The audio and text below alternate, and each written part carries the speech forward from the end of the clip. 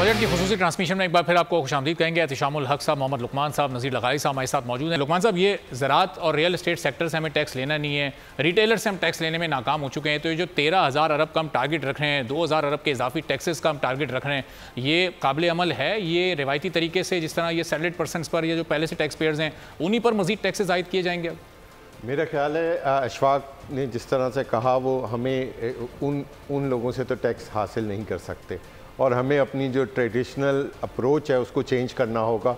और जिस तरह से हमने डिजिटलाइजेशन कैपिटल मार्केट में की थी, वो डिजिटलाइजेशन हम दोबारा से अपने दूसरे सेक्टर्स में भी लेके जाएँ रियल एस्टेट सेक्टर में या एग्रीकल्चर सेक्टर में या दूसरे सेक्टर्स में तो उसकी वजह से जो टैक्सेस जो हैं, वो आप हैं, वो आपको काफ़ी आसानी से और उसमें काफ़ी इंक्रीज़ आ सकती है। हमारे यहाँ जो लीकेजेस हैं, उनको कंट्रोल किया जाए। क्योंकि जो एग्जिस्टिंग टैक्स पेयर है, वो तो टैक्स अब इस लेवल का दे चुका है कि अगर आपने उसको मज़ीद इंक्रीज़ किया तो उसमें कैपेसिटी नहीं है। आपने जैसे सैलरीड टैक्स पेयर्स का ज़िक्र किया, अगर सैलरीड को अगर आप मज़ीद टैक्सेशन को इंक्रीज़ करते हैं तो लोग वैसे ही मुल्क छोड़ने को तैयार हैं। अशफाक भाई ने जो बात की, मैं उससे थोड़ा सा डिसग्री करूँगा। पहले मेरी एक पीडब्ल्यूसी के पार्टनर से बात हो रही थी। उनका ये व्यू था कि पहले 100 लोग अगर क्वालिफाई होते थे तो उसमें से 50 लोग छोड़ के चले जाते थे 50 लोग हमारे पास होते थे। आज जो है 80 या 90 लोग उनमें से पाकिस्तान छोड़ के जा रहे हैं और सिर्फ़ 10 या 12 अपने फैमिली रीजंस की वजह से जो है, वो वो यहाँ पे रह रहे हैं। तो उस पर हमें थोड़ा सा देखना होगा।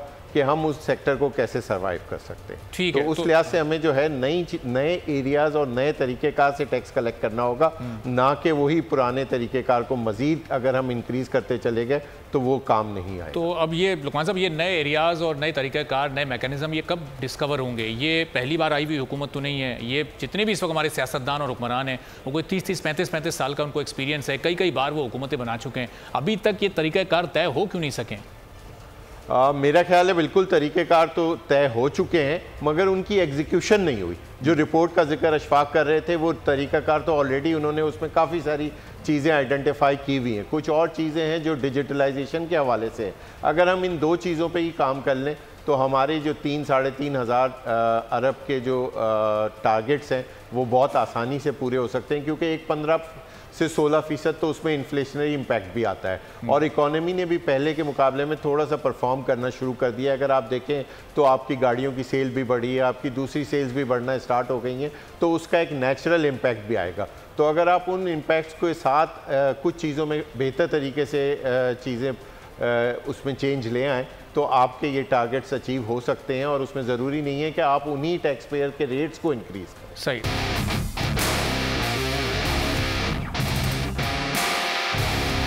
लुकमान साहब, ये इकोनॉमी के लिए अगर आपको मुश्किल फैसले करने हैं एज गवर्नमेंट और टफ डिसीजंस लेने हैं तो उसके लिए तमाम स्टेक होल्डर्स को साथ लेकर, एक पेज पर ऑन बोर्ड लेकर चलने की कितनी इंपॉर्टेंस होती है? चूँकि अगर आप इस तरह एक के बाद एक अपने इतिहादी को नाराज़ करते चले जाएँगे तो आगे आपके अपने लिए मुश्किल खड़ी हो जाएँगी। मैं आपकी बात से बिल्कुल एग्री करूँगा कि जितने मुश्किल हालात हैं, इसमें कंसेंसस की जो अहमियत है, वो और ज़्यादा बढ़ जाती है। और अगर आपके पास कंसेंसस नहीं होगा तो ये मुश्किल फ़ैसले करना और भी मुश्किल हो जाता है। मगर इसी के साथ मैं थोड़ा सा इसको दूसरी तरफ़ लेके जाऊँगा कि जो इस वक्त आवाम है आवाम का जो इस वक्त सिचुएशन है वो इतनी बुरी है कि वो मज़ीद किसी किस्म की महँगाई बर्दाश्त नहीं कर सकती। तो हमें ये भी देखना होगा कि जो एक आपका मुतवसत या निचला तबका है, और मुतवसत भी अब तो निचले तबके में आ गया है तो उनके लिए हम मज़ीद टैक्सेस नहीं लगा सकते। तो ये चीज़ गवर्नमेंट को ख़ास तौर पे देखनी होगी कि वो किस तरह से इन चीज़ों को मैनेज करें, कि जो टैक्सेस हों वो कम से कम निचले तबके पे और मुतवसत तबके पे ना लगें और जो टैक्सेस लगाए भी जा रहे हैं, उनके लिए वो अपने जो भी दूसरी दूसरी दूसरी पार्टीज़ के लोग हैं, उनको साथ लेके आएँ और उनके साथ कंसेंसस के साथ लॉ फ्रेम करें, ताकि जो न्यू एरियाज़ हैं, जिन पे हमेशा से बात होती रही है और हमारे पास इंफॉर्मेशन की कमी नहीं है, हमारे पास हमें ये नहीं ज़रूरत कि हमें पता नहीं है किस तरह से टैक्स को बढ़ाया जा सकता है। हमें पता है कि रियल इस्टेट की जो जीडीपी में सिचुएशन है, उसके मुताबिक उसमें टैक्स कलेक्ट नहीं हो रहा। हमें यह भी पता है कि एग्रीकल्चर से जो आमदनी हो रही है, उसके हिसाब से उसका जो टैक्स में कंट्रीब्यूशन है, वो वन लेवल पे है और पाँच परसेंट भी नहीं है जितना होना चाहिए। इसी तरह हमें यह भी पता है कि रिटेल और होलसेल लेवल पे जो टैक्सेस होने चाहिए, उसका जो कंट्रीब्यूशन है जीडीपी में, वो उस हिसाब से उसमें कलेक्शन नहीं हो रही। तो वी नो एवरीथिंग मगर ये कि जो टैक्सेस नहीं लगाए जा रहे, उसके लिए ज़रूरी है कि तमाम लोगों को साथ मिलाया जाए और फिर उसको इम्प्लीमेंट किया जाए तो चीज़ें काफ़ी आसान हो जाएँगी। तो लुकमान साहब, ये हुकूमत को भी ये सारी चीज़ें पता हैं, ये जितनी भी ग्राउंड रियलिटीज़ हैं, लेकिन ये अभी तक कोई भी हुकूमत इस सिलसिले में कोई कामयाबी हासिल कर क्यों नहीं सकी है? ये पी डी एम की हुकूमत का एक तसलसल है, दूसरी बार इनकी हुकूमत आई है। इससे पहले पी टी आई थी। उनके लोग भी ये कहते थे कि ये होना चाहिए किया उन्होंने भी नहीं। ये भी ये कहते हैं, अभी कुछ देर पहले खुरम दस्तगीर साहब को एक दूसरे चैनल पर मैं सुन रहा था, वो भी ये कहते हैं कि ये होना चाहिए इन सेक्टर्स को, आप टैक्स के नेट में लाएँ। हुकूमत ये कह रही है, होना चाहिए, लेकिन कर नहीं रहे। आखिर कहाँ फंसे हुए रुकावट क्या है? आई थिंक उसमें वही चीज़ है कि वो जो लॉबीज़ हैं, वो इतनी स्ट्रॉन्ग हैं कि शायद वो हुकूमत से भी ज़्यादा स्ट्रॉन्ग है। लेकिन अब वो वक्त आ गया है कि इसको हम मज़ीद बर्दाश्त नहीं कर सकते और हुकूमत को कोई ना कोई इस पर फैसला करना होगा। और अगर वो अब भी नहीं करेंगे तो जैसे लगारी साहब ने कहा कि फिर अब बस बस हो गई है। तो इससे ज़्यादा जो है गरीब आदमी टैक्स बर्दाश्त नहीं कर सकेगा। थोड़ा सा ऐड करना चाहूँगा कि बिल्कुल ठीक है आज तक हमने ये चीज़ें नहीं कर सके और ये हमने हर दफ़ा हमें पता है जैसे मैंने भी कहा इन्होंने भी कहा कि हमें पता है क्या चीज़ होनी है और क्या और वो हो नहीं सकी। और उसकी वजह हम कहते हैं कि ज़ाहिर है यहाँ पे हर जगह एक माफिया खड़ा है और वो काम होने नहीं देता। हम्म। मगर एक चीज़ ऐसी है जो कि शायद इस दफ़ा है वो शायद पहले उतनी बुरी नहीं थी कि हमारी जो इस वक्त फाइनेंशियल पोजीशन है या जो हमारे कर्ज़ों का हाल है आम जबान में वो इतना बढ़ चुका है कि अब वो सिचुएशन है डू और डाई अगर अब भी हमने चीज़ों को ठीक नहीं किया तो फिर हम उस हाल को पहुँच गए हैं कि हम्म। आगे हम आ, कोई हमारे पास रास्ता नहीं बचेगा और यह आखिरी मौका है कि हमें अपने कर्जे कम करने होंगे और अपनी चीज़ों को ठीक करना और साहब सिचुएशन भी तो इस गवर्नमेंट के पास आइडियल है ना। इस्टेब्लिशमेंट भी उनसे कोई ताल्लुक ख़राब नहीं है। इतिहादी भी ऐसे हैं कि पीपल्स पार्टी को कोई वजारत नहीं चाहिए। वो सिर्फ़ आइनी उहदों के साथ पूरी सपोर्ट कर रहे हैं। एम भी साथ है। तो कोई मसला ही नहीं है फिर तो इनके लिए इकदाम उठाना।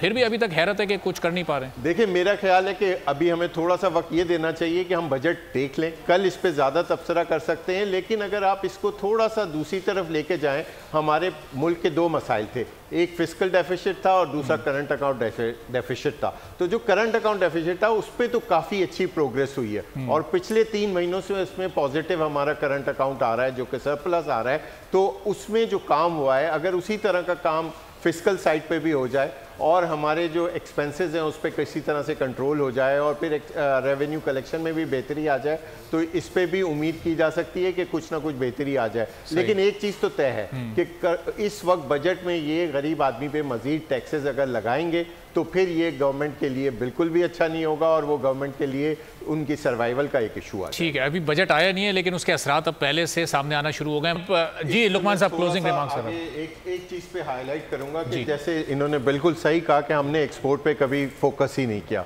और हमें एक्सपोर्ट पे फोकस करना चाहिए अगर हमारे कुछ मुल्कों के साथ मसाइल भी हैं। तो वो ऐसे मसाइल को हमें ट्रेड पे इम्पैक्ट नहीं होने देना चाहिए और ट्रेड हम्म। जो है वो हमारी उसके साथ उस कंट्री के साथ होनी चाहिए। उसी के हवाले से मैं दूसरी एक चीज़ यहाँ पे डिस्कस करना चाहूँगा और वो है इंफॉर्मेशन टेक्नोलॉजी की एक्सपोर्ट हम्म। हमारी फ्रीलांसर कम्युनिटी जो है वो दुनिया में काफ़ी बड़ी कम्युनिटी है और तीसरे चौथे नंबर पे आती है। और आईटी की जो एक्सपोर्ट्स हैं वो भी जो इस वक्त हमें ऑफिशियल चैनल्स के थ्रू आ रहा है उससे काफ़ी ज़्यादा हैं।